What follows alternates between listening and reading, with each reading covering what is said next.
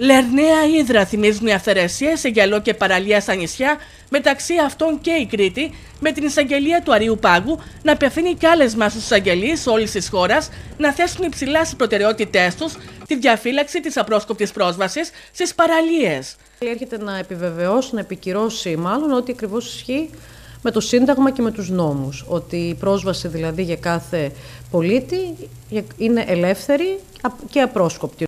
Μόνο στην Κρήτη τα πρωτόκολλα κατεδάφισης αυθαίρετων κατασκευών σε γυαλό και παραλία υπερβαίνουν τα 500 μετά από διετή αναστολή υλοποίησης των κατεδαφίσεων, δηλώνει η Μαρία Κοζηράκη. Οι παραβάσεις, οι αυθαιρεσίες στον χώρο του γυαλού και της παραλίας είναι από νόμιμες τουριστικές μονάδες, είτε ξενοδοχειακές είτε καταστημάτων εστίασης, οι οποίοι επεκτείνονται αυθαίρετα προς τον κοινόχρηστο χώρο, δημιουργώντας κάποιες σκληρές επιφάνειες, κάποια τυχεία, κάποια σκαλοπάτια, τα οποία οφείλουν να αρθούν, να φύγουν, έτσι ώστε να επιτρέπουν την ελεύθερη πρόσβαση. Οι αποφάσεις έρχονται κανονικά, Χτίζεται αυτή η λίστα δηλαδή, η οποία είναι μακροσκελής πλέον, υπερβαίνει τα 500 πρωτόκολλα κατεδάφισης.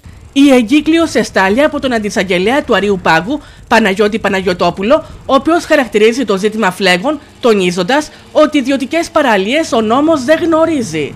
Με την εισαγγελική πυγμή μας πρέπει να καταστήσουμε τη σπάση εμφανές έστω και διακυρώσεων και διαπράξεων δικονομικού καταναγκασμού ότι κύριος προορισμός των κοινοχρήστων πραγμάτων είναι η ελεύθερη και ακόλυτη πρόσβαση του κοινού προς αυτά. Και όλα αυτά συμβαίνουν την ώρα που πληθαίνουν καταγγελίες από αρκετές περιοχές της χώρας μας, είτε για ξενοδοχεία που περικλείουν παραλίες με τις εγκαταστάσεις τους, είτε για beach bar και άλλες επιχειρήσεις του είδους που καταλαμβάνουν παράνομα σχεδόν το σύνολο των παραλιών.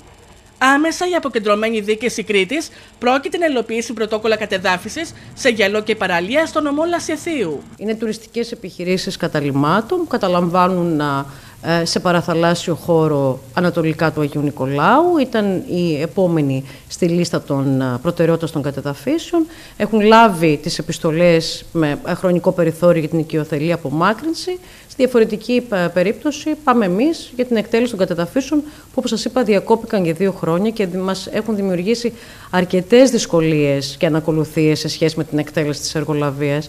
Οπότε προσπαθούμε να βρούμε και εμείς λίγο τον ρυθμό μας, να εκτελέσουμε και να ολοκληρώσουμε αυτή την εργολαβία, η οποία είναι ανοιχτή από το 2019.